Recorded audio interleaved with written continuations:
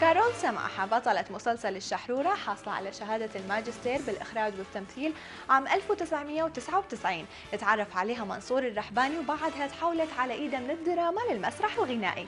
كان أول ألبوم إلها تحت عنوان حلم عام 2003 وبعدها حصلت على لقب أفضل مطربة عام 2004 وفازت عام 2010 عن ألبومها حدود السماء. كارول سماحة احتفلت بالقاهرة بصدور ألبومها الجديد واللي كان من إنتاجها تحت اسم إحساس. محمد سعد التقاها بالعاصمة المصرية ودردش وياها عن مشوار الحياة والفن. أنا بدي أقول بونسوار مساء الخير. كثير مبسوطة إني عم بعمل هالاحتفال بمصر مع الإعلام المصري والصحافة المصرية.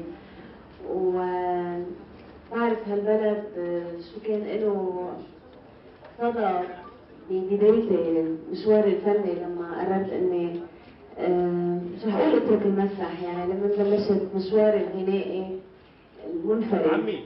قد كان في دور كبير لمصر بحياتي ومسيرتي الفنية فحبيت اليوم أحتفل بالبوم أحساس بالذات آه، معكم.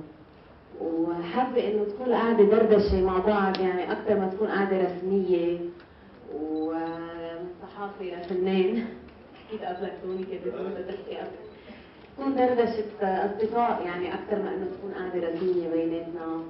وأنا كلمة جاهزة لأسئلتكم واللي بتحبوا تقولوا لي. راجع تسأل عني إيه والله كتر خيرك؟ أنت مين مفكرني؟ طفلي وما بتقشع غيرك. راجع تسأل عني إيه والله كتر خيرك؟ أنت مين مفكرني؟ طفلي وما بتقشع غيرك. قلبي اللي تحمل ظلمك عم تطلب منه يضمك لا هالمرة عن إذنك. ما راح أضعف لا لا بيتك يلي عمرته إنت بايدك دمرته لحبك يا ما جرحته وقلبه نصين قسمته اسمك بطل يعنيلي خلص علي حرمته خلاص. آه. باختصار الألبوم أكيد آه، بيحكي عن آه، تجارب عشتها أو تجارب شفتها حوالي من أصدقاء آه، شفتهم عم بيعيشوا أحاسيس معينة. دايما أنا بألبوماتي بحب أعالج موضوع العلاقات العلاقات. كثير بهمني العلاقات بين المرأة والرجل. كثير بتهمني العلاقات الإنسانية.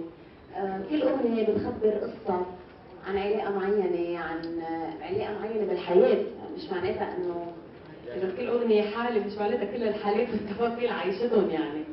آه، مثلا عندك أغنية أنت طفل كبير بحكي عن آه، أنانية الرجل بالحب. مزاجيته كيف بيتعامل مع حبيبته؟ إذا بدك باختصار أغنية آه، وحشاني بلادي بتحكي عن حب الوطن عن الغربة عن الإنسان المشتاق لمشتاق وح- وحش وحش وطنه. عندك أغنية حخونك شرحتها درامية. احضني للملحن محمد رحيم والشاعر محمد جمعة بتحكي عن الرومانسية الإيجابية مش الحزينة. كثير مشاعر إنسانية بهالألبوم. آه، هي تفاصيل بنعيشها بحياتنا نحن كبشر حبيت أعبر عنها. كثير صعب وقت كنت السنة الماضية كان في برامج هواة أحضرها كنت شوف فنانين حكام. قول يا الله ليه هيدا قبلوه ولا ده ما لازم يقبلوه ليه هيدا رفضوه ليه هيدا نقعد نحكي؟ بس أنا حكم كثير إشياء بتاخدها بعين الاعتبار كثير أكثر ما بتتصور. لو كان الحكم أشخاص بالم... مش مشهورين يعني لو الحكام ناس مش مشهورين عندهم حريه أكثر يقولوا 100% اللي بيفكروا فيه وبحسوه